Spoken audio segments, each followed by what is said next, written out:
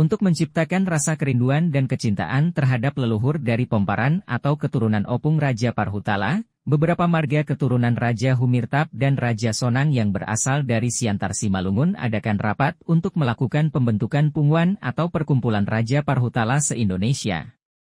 Acara diadakan di rumah kediaman Ketua Umum Raja Sonang Sedunia, Muhammad Alboinsah Gultom yang akrab dipanggil Bagultom di Jalan Limau Manis, Medan Sinembah, Kecamatan Tanjung Morawa, Kabupaten Deli Serdang, Sumatera Utara, Minggu 30 Juni 2024 sore. Opung Raja Parhutala yang berasal dari Urat Huta Godang Kabupaten Samosir, Sumatera Utara adalah merupakan orang tua dari Raja Humirtap Marga Pandiangan dan Raja Sonang Marga Gultom, Samosir, Pakpahan, Sitinjak dan Harianja.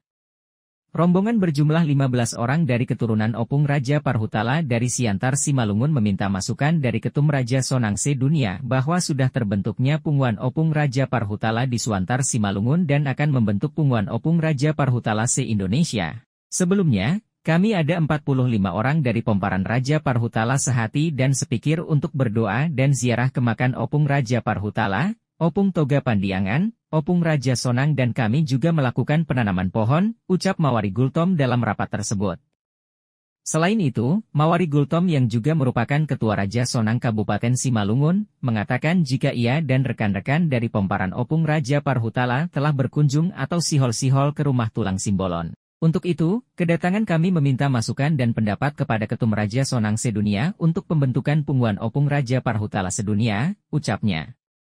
Sementara, Ketua Umum Raja Sonang Sedunia, Muhammad Alboinsah Gultom yang sering dipanggil Be Gultom sangat berterima kasih dan sangat mengapresiasi atas ide dan gagasan dari rombongan pomparan Opung Raja Patutala dari Siantar Simalungun. Kami dari Raja Sonang siap mendukung apa yang mau dilakukan dari pomparan Opung Raja Parhutala dari Siantar Simalungun untuk membentuk Pungwan Raja Parhutala se-Indonesia. Lakukanlah kerinduan terhadap leluhur, kalau bukan kita siapa lagi, Ucap Bogultom yang didampingi Sekretaris Umum Dr. Tuangkus Haryanja M. M. dalam arahannya. Bogultom menyampaikan, jika membentuk suatu organisasi atau perkumpulan itu tidak gampang. Perlu kesolidan dan kesehatian dalam membangun suatu perkumpulan. Untuk itu, siapun pemimpin nantinya di Pungguan Opung Raja Parhutalase Indonesia harus mengerti kasih kesbangpol, loyalitas dan mengerti sejarah. Tetap maju terus karena membuka perkumpulan itu tantangan semakin besar, tetapi keheranan pasti terjadi. Mau lihat tema tujuh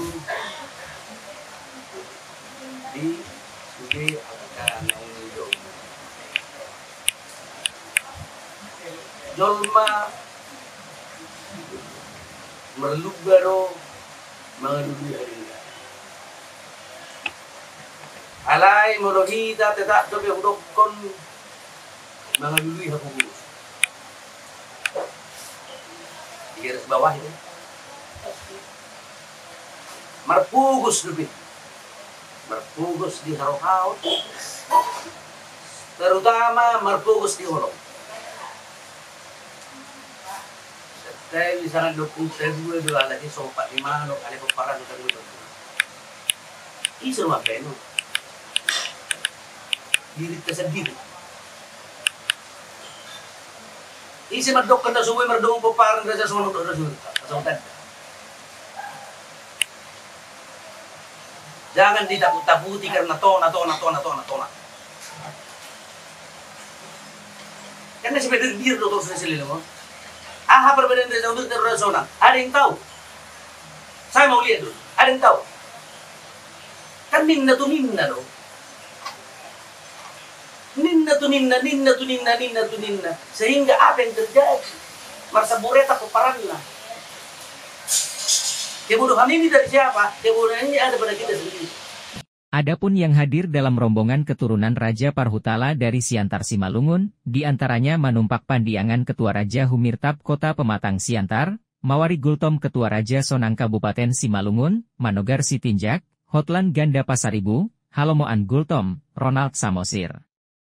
Selain itu, ada Tuangkus Harian Janando Gultom, Marda Mepandiangan, Nyi Gultom Boru Harahap, Nyi Marpawung Boru Gultom, Nyi Pandiangan Boru Manik, Nyi Sinaga Boru Gultom dan turut hadir dalam kesempatan tersebut Presiden Indonesian Maritime Plots Association atau Inampa Pasoroan Herman Harianja. Dari Medan, Sumatera Utara Antoni Pakpahan Aktual Online melaporkan.